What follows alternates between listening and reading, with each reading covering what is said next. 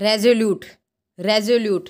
Resolute का अर्थ होता है दृढ़, स्थिर, साहसी, धीर, अटल, कृत संकल्प या सुनिश्चित। इसको इन सेंटेंसेस में थोड़ा और अच्छे से क्लियर कर लेते हैं। जैसे, her voice sounded calm and resolute her voice sounded calm and resolute यानी कि उसकी आवाज़ शांत और दृढ़ लग रही थी। This situation requires our resolute action this situation requires our resolute action यानी कि इस स्थिति के लिए हमारी दृढ़ कार्रवाई की आवश्यकता है।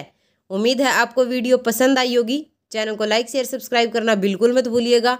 अपनी इंग्लिश को और ज़्यादा बेहतर बनाने के लिए चैनल के होम पेज पर हज़ारों वीडियो हैं, जिन्हें जाकर आप देख सकते हैं।